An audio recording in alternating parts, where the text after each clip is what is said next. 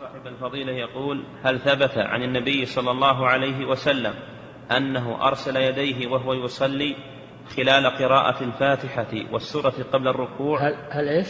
هل ثبت عن النبي صلى الله عليه وسلم أنه أرسل يديه وهو يصلي خلال قراءة الفاتحة والسورة قبل الركوع؟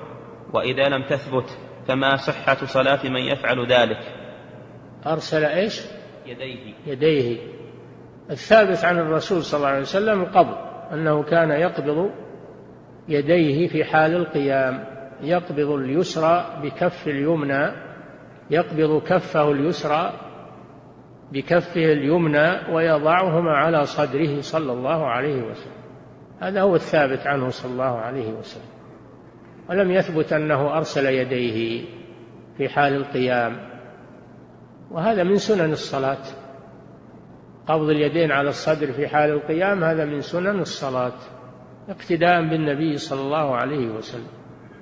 والذي يرسل يديه يكون تاركا للسنة تاركا لهذه السنة وهذه الفضيلة. نعم.